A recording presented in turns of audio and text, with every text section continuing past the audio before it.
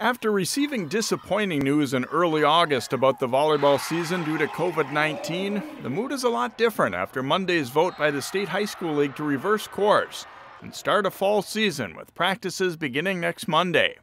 At first, we were excited to have this little training window of three weeks and 12 practices. Like, we'll do the best we can. And then all of a sudden, we get halfway through through it last week and said, oh, by the way, we're going to have a new meeting next week and see we might have an actual season. So it kind of caught us off guard, but in an exciting way versus earlier in the fall when they said uh, by the new way we're not going to have a season. So it's completely flipped 180 degrees as far as the emotions of things. So uh, we're just going to go with the next week and have some fun.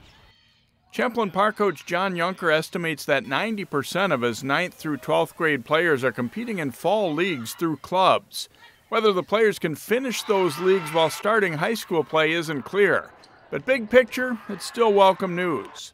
It uh, is nice that it alleviates some things. There was some concern if it was in the spring that it might conflict and how those hurdles were going to be crossed and, and those obstacles were going to be crossed if I was right in the middle of the JO season. So uh, a big sigh of relief for both those things. Um, it, it does leave a few more questions to be answered as far as what these next couple weeks will look like as far as finishing up some fall stuff and whatever else. But the major, the two positive, major positives are that we have a fall season and we're excited about that. And, and there's not the concern about players having to choose one or the other in the spring. Should we, would we have had a spring season?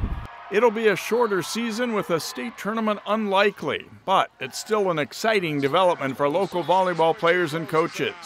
Jay Wilcox, CCX Sports.